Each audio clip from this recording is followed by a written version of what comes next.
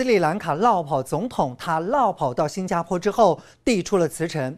斯里兰卡国会议长也宣布总统正式下台。但是最新消息是，斯里兰卡总理稍早宣布他要代理总统一职，但是议会将在二十号，也就是下个礼拜三选出新任总统，任期到二零二四年。斯里兰卡陷入经济危机，爆发大规模示威抗议。总统拉贾帕克萨日前逃到马尔蒂夫，现在又传出他在十四号晚间飞抵了新加坡。新加坡外交部表示，拉贾帕克萨是以私人访问方式入境，并没有要求庇护，也表示新加坡通常不会批准庇护的请求。而拉贾帕克萨在抵达新加坡不久后，也已经透过电子邮件递交辞呈，正式请辞总统职务。听到这个消息，大批抗议民众上街跳舞庆祝。The whole country will celebrate today because it's a big victory. Actually, this this Rajapaksa corrupted family, we never thought we will get this country free from them. 而斯里兰卡面临的经济困境，恐怕很大一部分要归咎于中国。中国多年以来用“一带一路”计划的名义提供斯里兰卡巨额贷款，却因合约条件对斯国不利。加上工程管理不当，逐渐掉入中国设下的融资陷阱。有熟悉斯里兰卡情势的印度分析人士认为，中国对斯里兰卡甚至整个南亚地区的影响力将会随着斯里兰卡的经济破产而迅速消退。目前，斯国的首要任务就是切断与中国的关联，专注内部治理，健全政策来发展经济。环宇新闻陈静综合报道。就业市场也值得讨论。美国公布最新生产者物价指数 （PPI） 与初领失业金的人数都高于市场预期，这显示通膨压力持续存在，抑制对劳动力的需求，也让整体的就业市场降温。但是疫情肆虐，导致缺工现象也没有缓解，像是部分行业甚至爆发缺工危机，特别像是比较专业的护理人员或者是救生员的部分。现在医院跟地方政府纷纷祭出对策，希望吸引更多的人才。美国劳工部十四号公布，被视为是通膨先行指标的美国六月生产者物价指数 PPI 再度升温，较去年同期上升百分之十一点三，高于市场预期，反映出商品生产的成本价格持续上涨。这也意味着通膨已经根深蒂固，要根除并不容易。Well, I think the important thing is the big question on everyone's mind is we have huge inflation right now. Um, we've had a huge inflation print. Today we had the producer's price index come out at extremely high number, 11.3%. 而劳工部也公布最新失业金数据，九号那一周初领失业金人数达二十四点四万人，较前一周增加九千人，不仅高于市场预期的二十三点五万人，也创去年十一月以来新高。暗示在高通膨与货币紧缩的背景下，抑制对劳动力的需求。 但即使整体就业市场降温，还是有部分行业严重缺工。受到新冠疫情冲击，美国面临劳动力短缺问题，各州都迫切需要愿意上班的人，尤其是在护理人员与救生员方面。例如在肯塔基州，护理人员减少了百分之十二到百分之二十，地方政府甚至因此宣布进入紧急状态。而肯塔基州有产学合作的护理学院提高学费补助，将两万四千美元补助一口气提高到了四万美元，同时要求学生与医院签订五年工作契约。提高学生投入护理领域的意愿。There's a big nursing shortage, and and healthcare in general across the country is really being stretched, uh, especially coming off of the pandemic. Of course, that's that's daunting, but the the bigger thing is, you know, being able to have an opportunity to be a part of the future of that. We wanted to remove those barriers and really make that healthcare career accessible to everyone in the community who wants to pursue it. 另外，夏天到来，美国目前面临另一项人力问题，那就是救生员短缺。 这影响了美国民众夏季的玩水乐趣。If you don't recruit lifeguards, we can't open the beaches, we can't open the pools, you cannot do the training classes for the kids during the summer. So it has become a tremendous challenge for the city and for the citizens in New York. 而纽约当局近期针对救生员加薪进行了讨论，宣布将救生员起薪定为每小时十九点四六美元，超过五百台币。并且提供一千美元的奖金来吸引并留住救生员。而正值暑假期间，青少年打工族群也是重要人力关键。临近纽约的纽泽西州宣布，让青少年可以在夏季工作更长的时间。将有助于填补劳动力市场的空白。环宇新闻陈静综合报道。是美国总统拜登十四号跟以色列总理拉皮德签署了耶路撒冷宣言，誓言不让伊朗获得核武器。紧接着，拜登十五号再飞往了沙地阿拉伯访问。不过，拜登人还没有抵达沙国，沙国政府就先宣布对所有符合条件的航空公司开放领空。当中包括以色列的航空公司，等于是先一步示出了善意。不过，拜登此行有两个目的，就是计划说服沙国增产石油，还有就是对俄罗斯的出口原油设定价格上限。因此，被市场认为这是两项不可能的任务。美国总统拜登十五号抵达中东行的第二站沙地阿拉伯，沙国政府在拜登降落前夕就宣布对符合领空条件的每一家航空公司开放领空，也包括来自以色列的航班，被认为是先一步在展现友好善意。拜登这几天行程满档，十四号还与以色列总理拉皮德签署耶路撒冷宣言。这份战略合作协议谈到美国和以色列不会让伊朗获得核武器。You, uh, in the past, said you'll do anything, and you say it again that you'll ensure Iran would not acquire nuclear weapons. Does that also mean, sir, that you would use uh, force against Iran? Is that what that means, if needed? That was the last resort, yes. Mm-hmm. 在区域安全之外，拜登此行还肩负着能源任务。美国汽油价格目前居高不下，白宫担心欧盟进一步制裁俄罗斯石油会再度推升价格，因此拜登正四处寻找更多石油来源。他计划说服沙地阿拉伯增产，并对欧洲提增供应量来取代俄国石油。I think before we had this energy crisis, I think the United States and President Biden felt maybe more comfortable with the idea that Saudi Arabia did not have to be as important as it has historically been. 有分析认为，拜登是在执行不可能的任务， 因为沙国石油的每日产量已经增加到一千一百万桶，也已经承诺到了七八月会再增产，让闲置产能只剩下一百万桶。而沙国不太可能会愿意消耗完所有的缓冲产能，因此拜登政府的指望恐怕很难实现。韩语新闻刘倩文综合报道。太平洋岛国论坛高峰会十四号在斐济闭幕了。与会成员国所罗门群岛总理苏加瓦瑞表明，虽然跟中国签了新的安全协议，但是不会同意北京当局在境内设置军事基地，以免所罗门沦为攻击的标靶。同时，与会的领袖也发布联合公报，一致同意以后与其他国家达成安全协议之前，都要先咨询其他会员国。与会领袖最后一天留下合影。太平洋岛国论坛十四号在斐济落幕，话题之一就是所罗门四月和中国新签的安全协议。所罗门总理苏加瓦瑞挂保证，不会允许北京在境内建军事基地，让国家沦为岛国公敌。此番表态终于让澳中总理艾班尼斯安心一些。Clear, we'd be concerned about any permanent presence there in the Solomons. And so close, of course, to uh, Australia, and we don't think that is in the interests of 一旦中国在所罗门建立军事设施，距离澳洲东北角海岸将不到两千公里。为了避免北京又私下和岛国签密约，损害区域安全，与会领袖在十四号发布的联合公报中一致同意，往后与他国达成安全协议前，将咨询其他成员。艾班尼斯更意有所指说，澳洲援助之手从不附带任何条件，百分之百尊重岛国主权。Our support for this region does not come with strings attached. It comes because we understand uh, that we have a responsibility as an advanced economy in the region to provide support uh, to our Pacific uh, island neighbours, and that indeed that is in Australia's interest. 除此之外，峰会也聚焦气候变迁，毕竟海平面上升最先影响的是岛国家园。And what matters most to us is that we secure bold commitments from all countries by COP27 to phase out coal and other fossil fuels.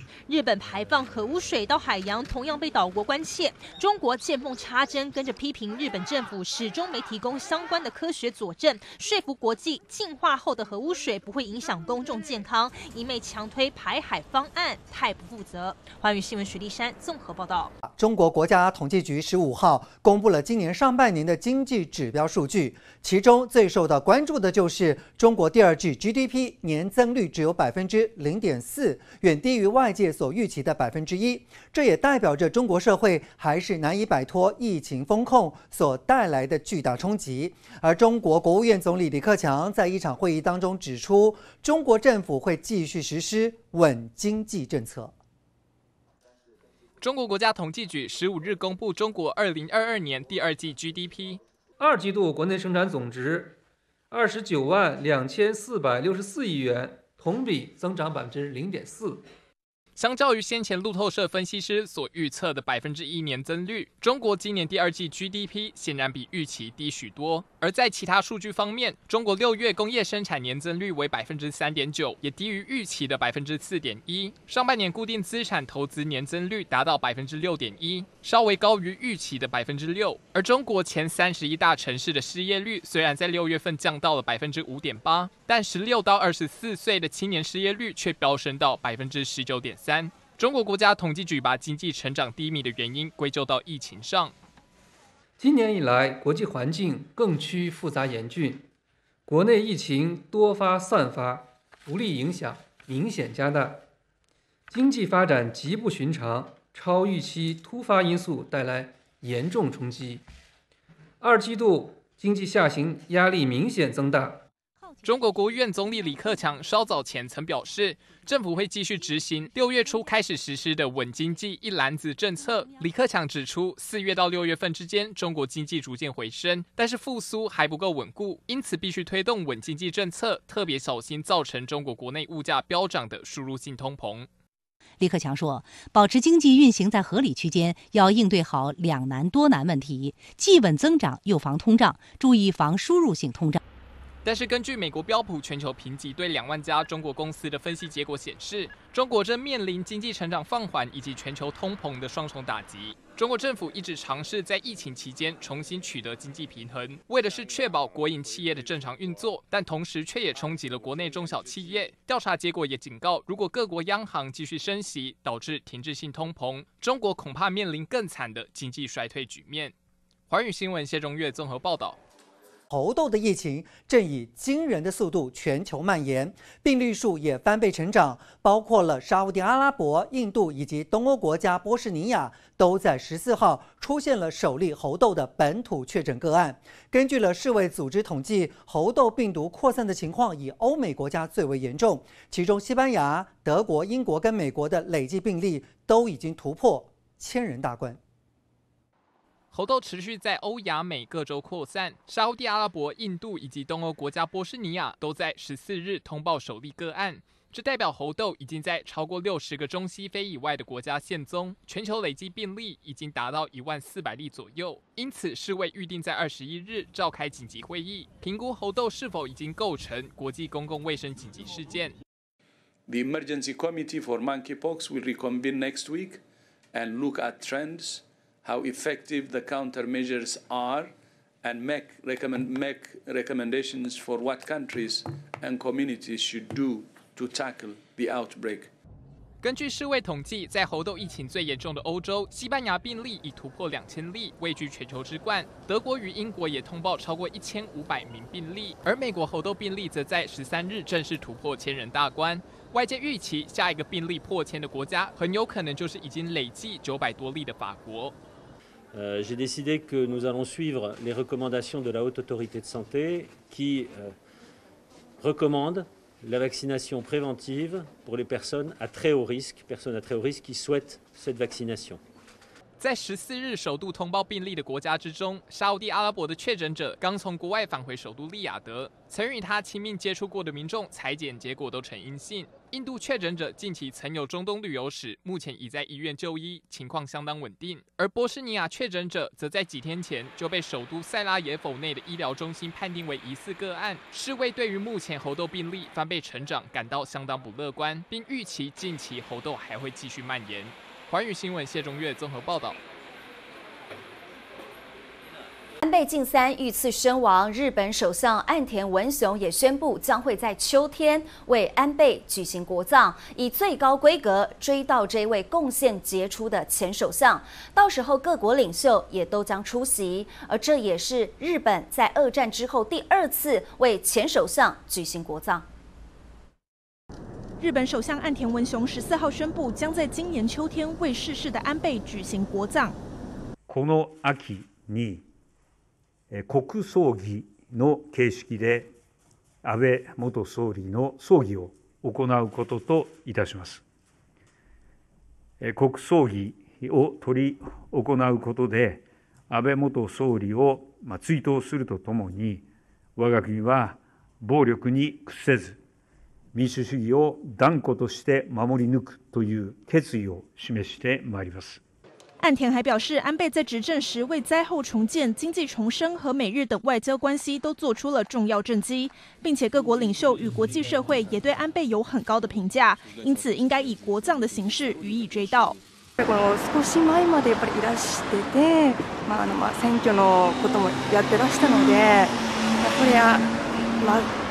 喪失感と言いますか、なんと言いますか、はい、なんか寂しいなという感じもしております。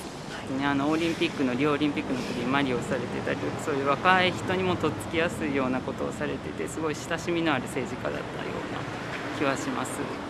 日本各地设置的吊唁场所连日涌入了大批民众，全球将近两百五十九个国家和团体总共发出超过一千七百份吊唁信函，都显示安倍在日本海内外广受爱戴。安倍更是日本在二战后第二位举行国葬的前首相。据 TBS 消息，国葬预计在东京都千代田的日本武道馆举办，到时各国领袖都有望出席致哀，追悼这位在日本宪政史上在任最久的首相。华语新闻刘千文综合报道。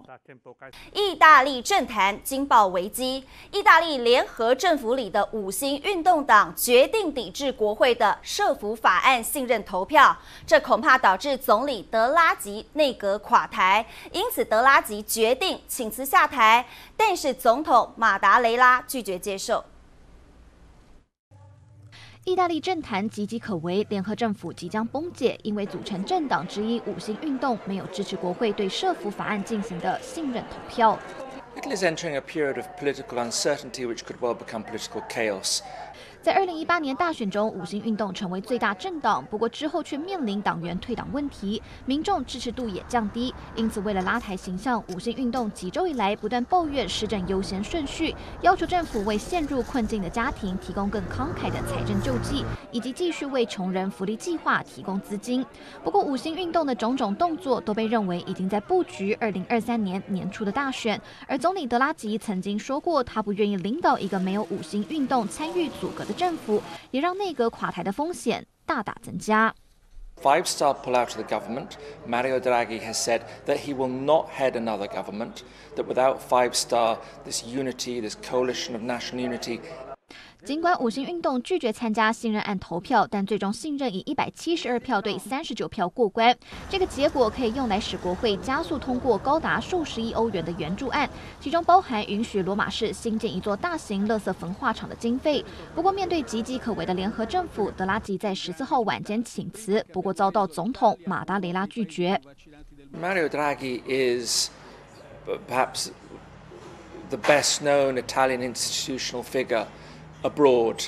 The very fact that he's the head of the government has brought a lot of stability and calm to the financial markets. They like him being there. They feel that if he's there, nothing bad will really happen to Italian finances.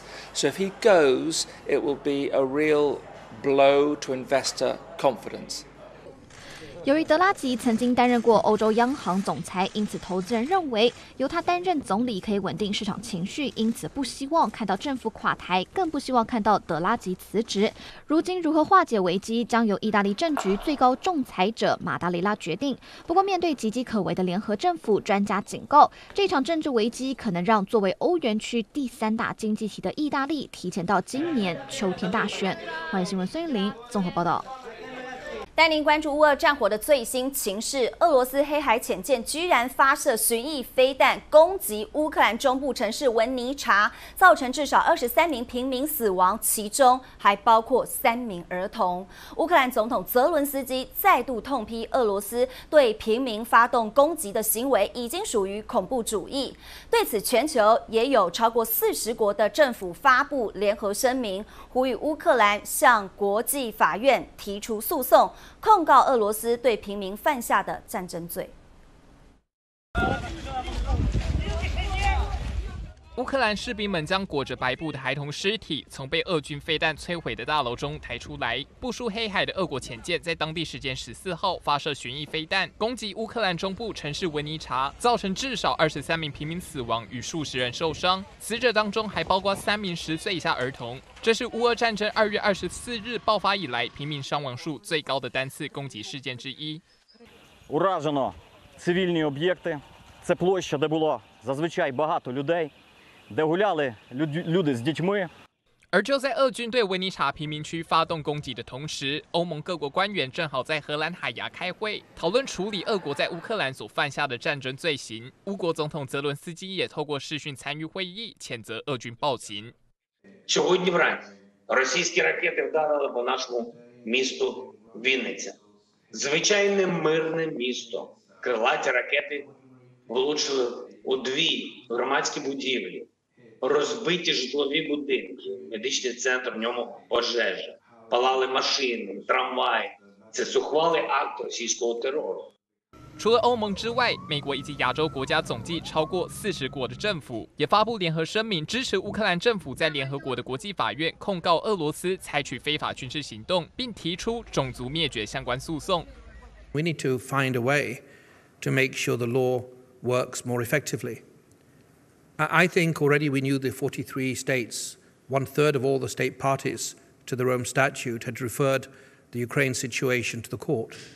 不过，在全球寻求以国际法仲裁俄军暴行之际，欧盟却在十三日放宽了对俄贸易制裁标准，呼吁立陶宛政府解除对俄国波罗的海飞地加里宁格勒的铁路货品禁运令。欧盟表示。不应该以限制两地间的货物运输来达成制裁目的，因此只要运输量低于过去三年的平均值，都会核准放行。但欧盟也要求，俄国商品过境欧盟成员国时必须接受检查。立陶宛随后表示，虽然会遵守新标准，但却比较能接受先前严厉的对俄贸易制裁。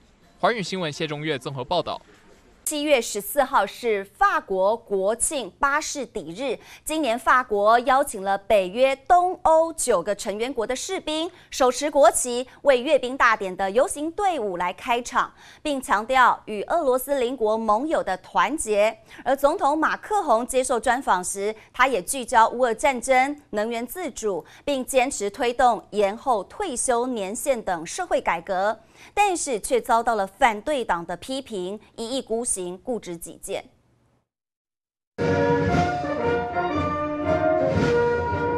东欧国家国旗随风飘扬，九个法国盟邦士兵出场揭开阅兵仪式，包含爱沙尼亚、拉脱维亚、立陶宛、波兰、捷克斯洛伐克、匈牙利、罗马尼亚以及保加利亚，强调与俄罗斯邻国盟友的团结。而今年也首度出现欧盟与北约旗帜，反映出了盟邦在乌克兰战事中团结一致。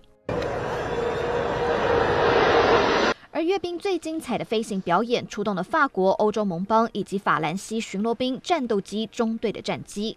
It's very amazing, and I saw the plane and very very beautiful. 七月十四号是法国国庆巴士底日，今年阅兵大约有六千三百名部队参与，其中五千人步行，还出动了六十四架军机、二十五架直升机、两百匹军马以及一百八十一部机动车辆，让法国民众看了十分过瘾。pour nous d'être là parce que euh, on trouve que c'est quand même un événement à pas louper.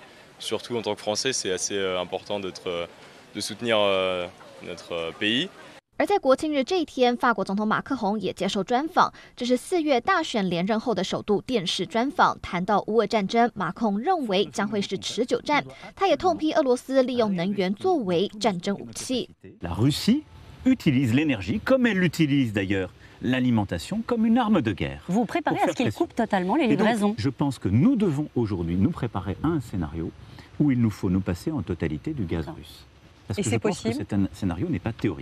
于社会议题，马克龙再次提及，希望逐渐将合法退休年纪上修到六十五岁，每年延后四个月，预计二零三零年达成。Si on a un compromis pour dire, on va décaler moins vite l'âge de départ légal, mais on va, par exemple, demander plus de trimestres là. Il faut bâtir des compromis responsables. 不过，由于执政党在国民议会中没有绝对多数，国会朝野对立严重，因此执政党必须与其他政党合作。然而，由于马克宏整段专访了无新意，不意外的遭到反对党炮轰。左翼不屈法国议员席莫内称马克宏是拒绝接受的国王。国民议会党团主席帕诺批评马克宏不愿倾听，执意改革退休制度。极右派议员雅各贝里则痛批马克宏愚蠢固执，永远不会改变。看来法国政坛的未来十分。不平静。欢迎新闻孙艺林综合报道。英国保守党党魁的第二轮选举结果出炉，依然是由前财政大臣苏纳克领先。好，目前剩下五位候选人会在十八号举行第三轮投票，其中外交大臣特拉斯这几天啊火力全开，造势催票，让支持他的呼声逐渐升高。英国保守党新党魁的第二轮投票结果出炉，这轮投票拿下最高票数的前三人不变，依旧由前财政大臣苏纳克占据领先地位，国际贸易副大臣摩丹特和外交大臣特拉斯分别位居第二和第三。另外，再加上前平等事务大臣巴登诺克，还有国会外交委员会主席图根哈特，总共五名候选人会进入第三轮投票，而这五人也会参加十五号晚上登场的一系列电视辩论。此轮票数最低的总检察长布瑞弗曼则是宣告出局。Therefore, under the rules, Suella Braverman is eliminated from the contest, and the others are able to go forward to a further ballot on Monday. 目前较有可能挺进最后一轮投票的依然是苏纳克、摩丹特和特拉斯，而摩丹特和特拉斯是基层党员最青睐的候选人。不过，摩丹特多次被批评没能提出明确的政策愿景，特拉斯则是在最近两天加大火力催票，让有关他获胜的评论越来越多。I have a plan to make Britain a high growth economy over the next 10 years through bold supply side reform. We will cut taxes, helping businesses invest in their future. 下一轮投票目前定在十八号举行，当天国会也会针对首相强生领导的政府进行信任表决。欢迎新闻刘庆文综合报道。社会焦点来关注震惊全国的南投草屯枪击命案，涉嫌行凶的李姓凶嫌，今天下午在台中某养生馆落网了。警方荷枪实弹攻坚逮捕，还在他身上查获了多把改造手枪，还有超过百发子弹。甚至面对媒体时，他还嚣张大喊。就是为了报仇。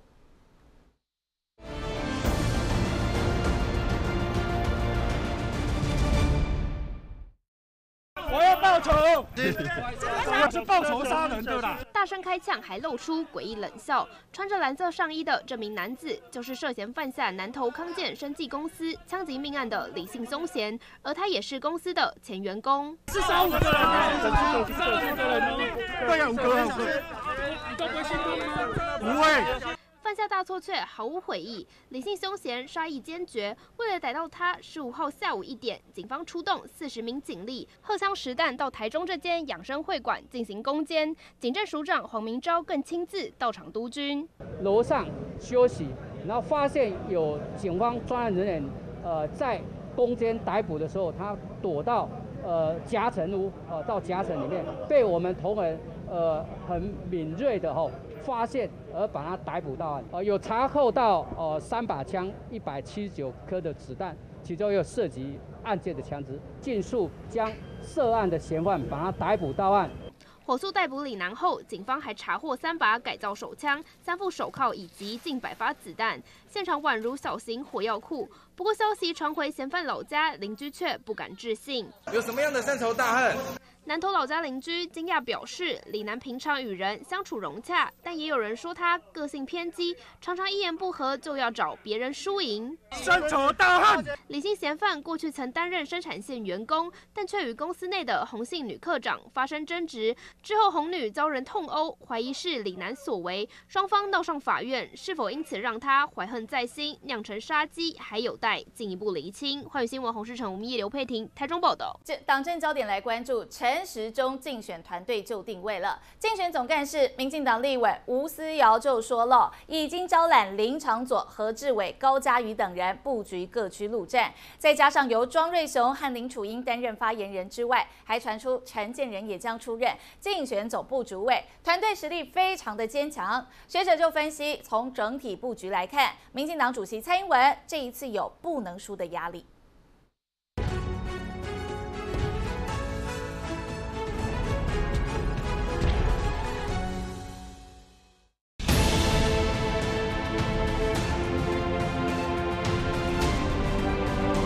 陈时中竞选团队陆续就定位，阵容坚强，让人感受到民进党主席蔡英文有不能输的压力。呃，几乎是正三角的一个状况，也就是三边的实力差不多。这个在蔡英文主席的这个这个呃这个主导之下啊，那么他势必对台北市呢，他有一个一定要赢，或者说绝对不能输。那么民进党快速的加灌注。他们能够动员的所有的资源，呃，政治力量，他全部把它动员起来。那台北市长是他是一个诸侯嘛，最大的诸侯。那诸侯自己本身哈，这些立法委员哈，他呃呃，或者甚至呃这个市议员，他们是呃，这是大小庄脚啦哈。那其实是鱼帮水，水帮鱼啦哈。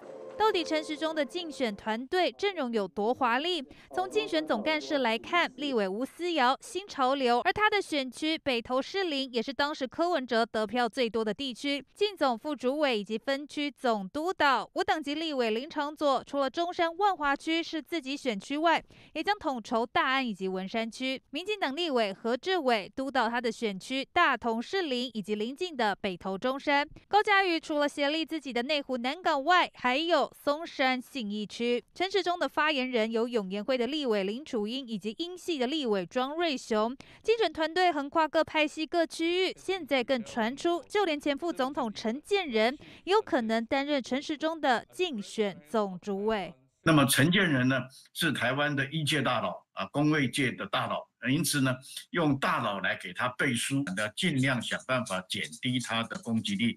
因此呢。不管是安排这个，赶快安排接班的人选，就是因为全代会就是已经瞧好了啦，这些都已经瞧好，然后政治这才会的全代会受齐嘛。因为你知道那些板块都已经抵定的时候呢，陈世忠就不用去扛那些东西的啦，那些就是我已经交出去了，我估计扛那么多啊，应该做的都做了嘛。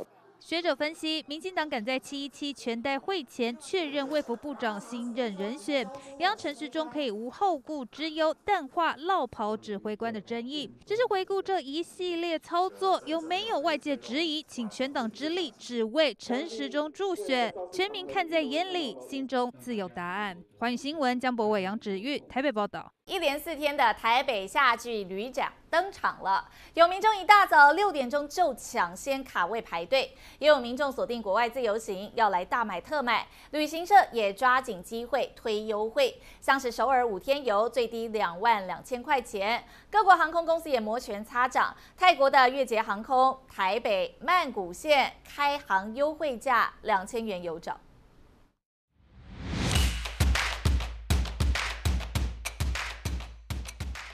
长长人龙没有尽头，顶着三十五度高温也要排队。台北夏季旅展登场，排在头上的就是他，足足等了四个钟头，六点多等到现在，脚很酸。疫情延烧将近三年，民众闷坏了，好不容易放暑假，旅展绝对是抢便宜的好去处。想出国，机票却变贵三至六成。但近期日元贬值，好甜蜜，让哈日族真的很心动。山富旅游瞄准日本市场，正式推出日本五星九州五日游，五万五千元起。还有台湾人出国首选首尔，雄狮旅游说五天每人最低两万二，想晒晒太阳，一有网则寄出东方夏威夷、越南岘港四天参考价两万六千九百元起。国外的话是因为我八月底要去美国，所以应该就是找找看有没有美国的行程。日本 OK，五万块以上的话可以接受。也可以的，好久没有出去玩了。只要能出国大玩特玩，民众预算无上限。来抢商机的还有航空公司。泰国的月捷航空从台北飞到曼谷起价二三九九元，预计八月十六号正式开航。乐桃也宣布九月十六号重启台北大阪航线，单程一九八零元起。釜山济州，我们有第二人优惠五千的这样一个活动，最高政府补助是一千三百，让我们易飞网我们再加码六九九。过去可能没有机会去欧洲，或者是啊。应该早知道要去的这样子一个想法，促成他们在这个长线欧洲美加这边的一个关注。有得玩还要有得吃，夏季旅展将近六百个摊位，比去年多出五成。开展第一天，上千人挤爆会场，抢便宜速度不能输人。环宇新闻刘云成真台北采访报道。好，身处疫情海啸第一排，导致航空业累积巨额亏损。这两年多来，至少四十家以上的航空公司倒闭或者是合并重组。不过现在有了一线生机了，因为各国逐步松绑边境管制，陆续有航空公司增加航班、新辟航线，瞄准的就是疫后旅游潮。不过眼前还有一大难关，就是人力短缺、高昂运价，又意外掀起了空中大乱。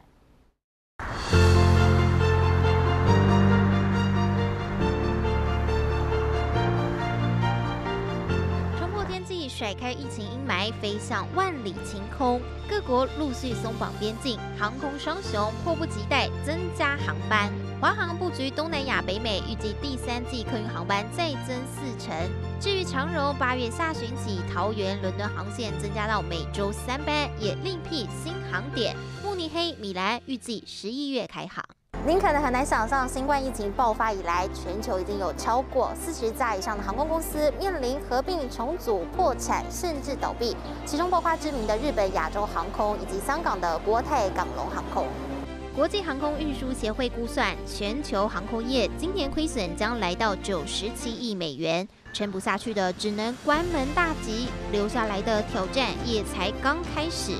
以加拿大航空为例，六月二十九号大动作宣布，七八月航班取消百分之十，因为人手不足，运力又吃紧，显示大缺工时代正式来临。已经转换跑道的人力，它未必会回到现在的一个岗位上面，可能造成一个暂态性的人力短缺情况。病毒的变种演变，现在这个时序也许会再往后延一下，那么可能到二零二五年年中。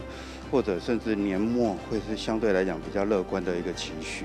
拼复苏前得先弥补因为疫情造成的人力缺口，各国扩大征才。以法国航空业为例，今年计划大幅招聘一点五万人。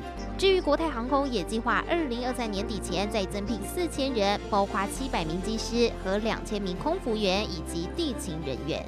第一波还是以。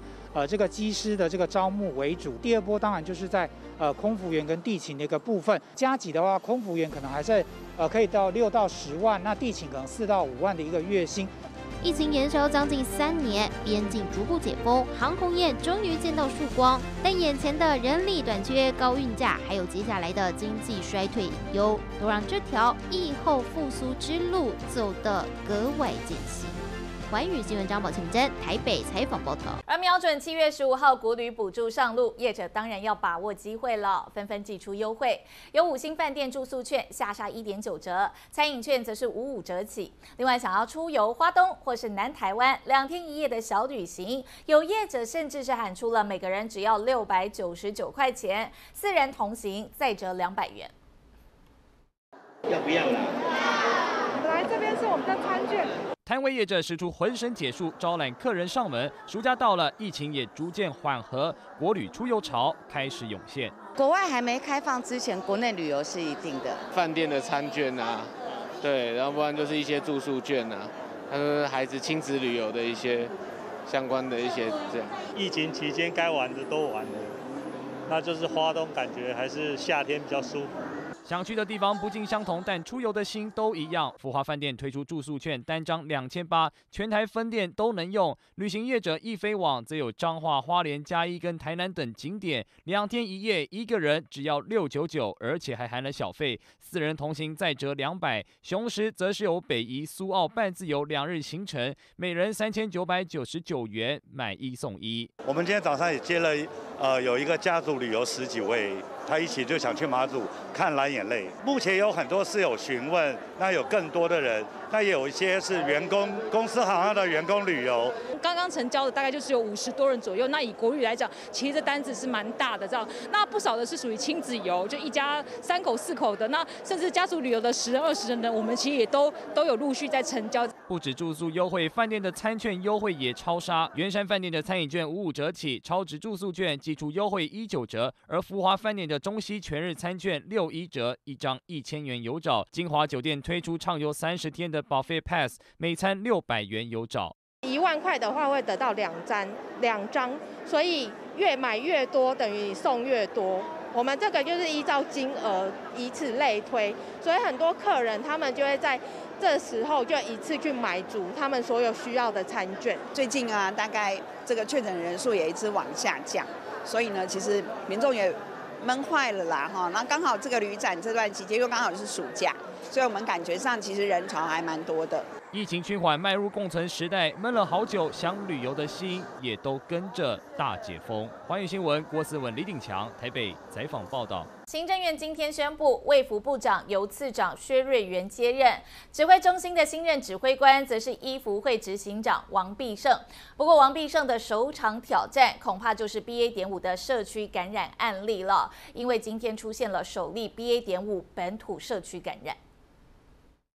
本土病例有两万五千两百二十三例，境外入有八十七例。本土疫情再比上周同期下降百分之十二，新增一百一十四人死亡，两百零三例中重症，重症包含四例儿童 Miss C。目前除了七个月大女婴还住在加护病房，另外三人病况都稳定。前累积的儿童重症的人数就是到九十八例，啊，其中 Miss C 是占最多，或是占三十八位。至于四月疫情大爆发以来的凶手，指挥中心证实就是 Omicron 变种 BA. 点二点三点七，流行率达九成。但现在威胁在这里，出现首例本土 BA. 点五社区感染，二十多岁女性没出过国，打满三剂疫苗，五月曾确诊，七月三号、五号同住家人分别染疫，六号女子也出现症状，定序结果确定感染 BA. 点五，她也是符合指挥中心提出重复感染定义的首例个案。这个一位的这个友人哈，另外还有四位的这个职场的同事呢，是被我们列为密切接触者。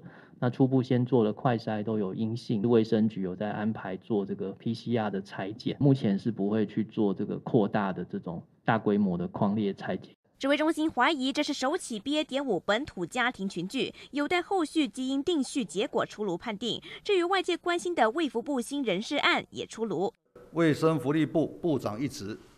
由原卫生福利部薛瑞元政务次长升任，原留政务次长一职由医福会王必胜执行长升任，并同时指派其兼任中央流行流行疫情指挥中心指挥官。指挥中心就要有新任指挥官，长期坐镇主持记者会的庄仁祥和罗义军也能稍微喘口气。华语新闻客观陈李佳倩台北报道。台湾从七月八号开始开放 Novavax 接种，不过有过敏反应者要特别注意了，因为欧盟药品管理局发现接种 Novavax 恐怕会有严重过敏性休克，危及生命安全。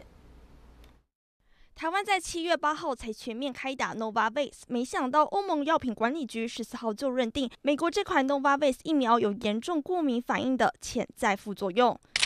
外媒报道，一名接种 Novavax 民众出现过敏性休克，于是欧盟药品管理局紧急增列皮肤感觉异常和皮肤感觉迟钝等疫苗副作用。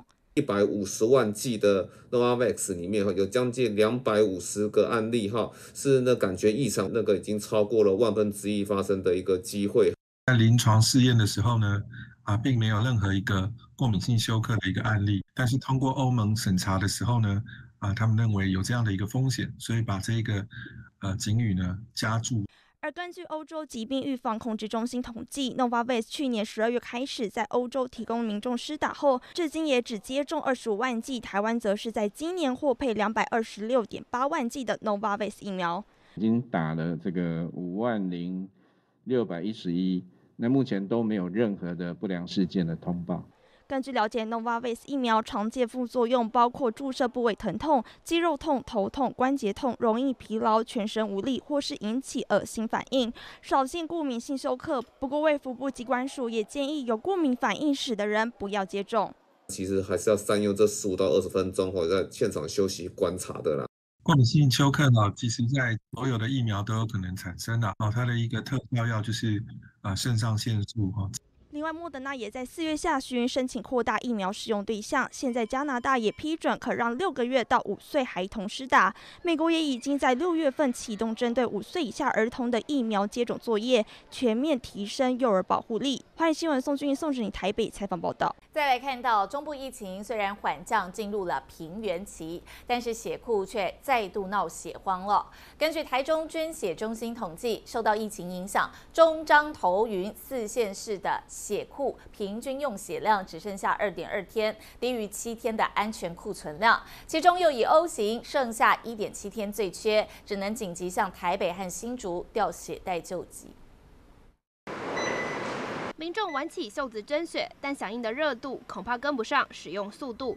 中部再度传出血库告急，血液库存量都是要七天，那目前我们二到三天已经维持了好几周，甚至一个月以上。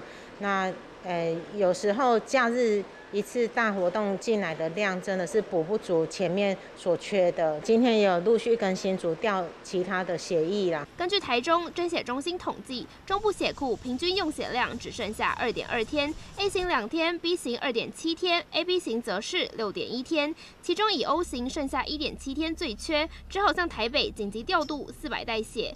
大阵仗跨县市调度血袋，就是因为中彰投云四个县市血库架上全都空荡荡，捐血中心也加开捐血车。因为疫情的关系，就是大家都会害怕去公共的场合，所以那个常常看到血库就是很很紧急的状况，会比较慢才来捐血，时间会隔比较久，因为怕有时候来捐血的时候人会比较多。疫情好像比较有趋缓下来，所以想说来捐一下血。虽然本土疫情已经进入缓降平原期，不过医疗用血却远远不足。捐血中心也强调，民众确诊康复后十四天都能来捐血，频频呼吁就是希望这波血库荒能够尽快度过。欢迎新闻洪世成，我们叶刘慧婷，台中报道。再来看到国安基金护盘第三天，台股收复五日线，十五号中场收在一万四千五百五十点。而现在金管会也加入了救援行列了，鼓励企业实施库藏股，更放宽信用交易抵缴单板品范围。金管会主委黄天木就说了，未来要密切关注美国升息步调。财信传媒董事长谢金河则是认为，只要台积电在四百三十三元以上止跌，台股就能稳住万四大关。台股奋力冲冲冲，数日指数开低走高，全指股打头阵，中场上涨一百一十二点，收在一万四千五百五十点，成交量突破两千两百亿。才刚结束法说会的台积电春风满面，股价飙涨十七点五元，收在四百九十二点五元。而台股连三天收红，救火队长就属国安基金，现在金管会也加入行列。台股的市场结构，散户反而是占大多数，不是说救谁的问题，而是就整个市场的整个的发展上，觉得这是一个比较好的措施。为了不让小股民信心溃堤，今晚会祭出两大稳股措施，包括鼓励企业实施库藏股，以及放宽信用交易抵缴担保品范围。毕竟眼前全球股市震荡，尤其美国公布六月份 CPI 年增率居然狂飙到百分之九点一。这让财信传媒董事长谢金河不讳言，数据很吓人。空头的格局通常来讲有十三个月，现在大概过了一半。国安基金在这个地方进场，大致上给大家安定一个心。七八月呢，应该全球股市会有一个盘整的机会。国安基金决议进场护盘，对台股来说宛如吃下定心丸，但却救急不救贫。台股得先稳住万四，才能看到止跌讯号。台积电现在如果它能够在四百三十三块以上止跌的话呢，那对台股守住一万四啊，大致上机会会比较大。真正的考验到下半年之后，要看明年的景气。美国的升息还是一波一波，通货的膨胀是不是能够及时被抑制？何时迎来反弹行情，没人说得准。毕竟当前通膨没有降温，主要经济体美国只好生生不息。现阶段台股只求稳扎稳打，别再破底。环宇新闻刘云成真台北采访报道。为了悼念已故日本前首相安倍晋三，国民党中央日前降半旗，引发了深蓝支持者不满。但是主席朱立伦是不甩深蓝的意见，还正在规划八月要出访日本参加安倍的国葬。学者分析，深蓝支持者可能会因此出走，为国民党年底的选情增添变数。国民党我们推出来的，从蒋万安到侯友谊到张善政，他们有专业、有诚信，做事情非常的务实。国民党中央开记者会炮轰民进党北北桃市长参选人根本是超跑连线，对选民毫无诚信可言，只是一边炮打绿营。国民党想为选情加分，还得先解决自己的党内危机。先前国民党为了安倍过世降半旗，才让深蓝支持者很不满。又传出主席朱立伦将规划造访日本，还不排除参加安倍晋三的国葬。如果说日本有办国葬的话，那么国民党不会缺席。不过国民党到底会是由什么样的人来做代表，其实并不确定，也没有具体的时程，也没有具体的规划。朱立伦向日本示出善意，甚至有人放消息说朱立伦对于深蓝反弹觉得很可笑，反而态度更加坚定。尽管遭到党中央否认，但深蓝依旧炸锅。中广董事长赵少康也批评愚昧投机，无疑成为蓝营分裂的潜在因子。尤其年底选战，若台北市副市长黄珊珊参选，可能会瓜分蒋万安选票，对蓝军选情带来冲击。我想应该是不至于哦。今年二零二二的选战，我想所有蓝军的朋友大家都有共识哦。这个二零二二一定要赢，那未来在二零二四我们才有可能重返执政。朱立伦明知道相关的一些动作会惹怒深蓝族群，那但是呢，他也不愿意细密的去跟深蓝族群做相当程度的一个沟通，去弥补彼此之间的一个歧见。那所以我认为就是说，在年底的一个选举来讲的话。国民党有可能流失山蓝族群之外，也没有办法说服中间跟年轻族群。国民党力拼县市长选举，但年底之前能不能成功整合蓝军，让支持者归队，恐怕这回党中央有日态度已经埋下变数。环宇新闻郭思文、李鼎强台北采访报道。而中国的经济啊，还面临了房地产资金链断裂，导致预售屋烂尾楼不断的增加，购房者陆续宣布暂时止付贷款。根据统计，目前有超过两千万户受到波及，也有专家预估总贷款金额高达两三兆人民币，相当于台币九到十三点五兆。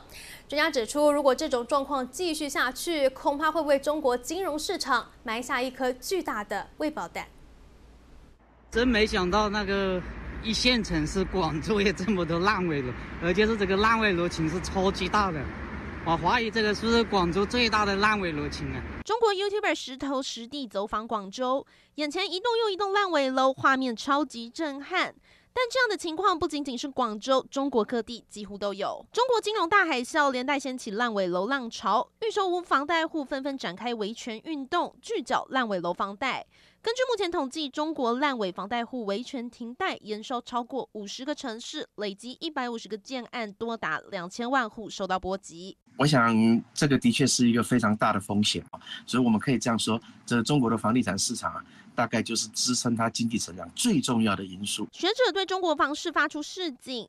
另外，日前才因为提出 A 股会跌破三千点，警惕外资撤离而被中国全网封杀的中国交银券商董事总经理洪浩，则表示，如果以百分之六在建烂尾工程保守估算，平均首付百分之六十，预计总涉贷金额高达两到三兆人民币，相当于台币九到十三点五兆。中国的房企呃，或者是房地产市场呃，在他们的金融体系里面占了这么高的比重啊，现在的烂尾楼危机的确会。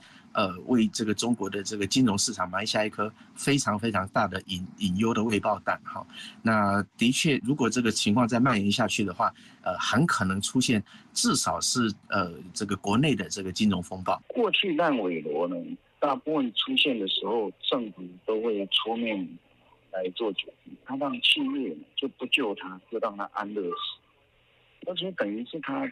它这个等于是一个僵尸企业了，像现在恒大也是等于僵尸企业。中国房市疲弱，恒大、融创等房地产龙头企业面临营运危机，也将矛头对准贷款银行。不过，中国农业银行跟兴业银行都表示，目前风险依旧可控。但随着停贷潮蔓延，坏账持续增加，中国的金融风暴山雨欲来。欢迎新闻张亚珠中国报道。环宇看东亚，一流专家在线，挖掘东亚热点议题，全台唯一中日韩震惊分析。环宇新闻台开启国际视野。